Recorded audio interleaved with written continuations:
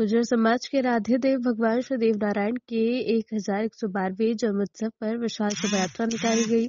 जो खंडिया चौराहा स्थित मंदिर से शुरू हुई शहर के मुख्य मार्ग, बस स्टैंड, मंगलपुर, बड़ा बाज़ार होते हुए धरवाड़ा स्थित देवनारायण मंदिर पर पहुँची। शोभा यात्रा में घोड़े, नृत्य, अखाड़ा आकर्षण का केंद्र रहे। शोभा यात्रा का बस स्टैंड पर सूरत राम गुर्जर मनोज गुर्जर चंद्रमोहन दा भाई और स्वागत किया गया। वहीं पुराने पोस्ट ऑफ़िस चौराहे पर बीजेपी नेता परमजीत सिंह, कालू रवि संगत या राम अग्रवाल, अनिल सुमन द्वारा स्वागत किया गया। वहीं मंगलपुर में कांग्रेस नेता शफीक खान, ओम पाठक द्वारा फूल वर्षा कर स्वागत किया गया।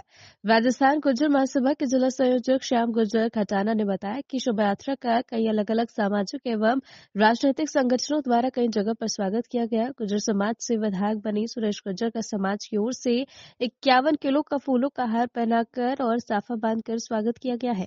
खानपुर से विधायक सुरेश गुर्जर ने सभा को संबोधित करते हुए कहा कि गुर्जर समाज को अन्य समाजों को साथ लेकर चलना चाहिए।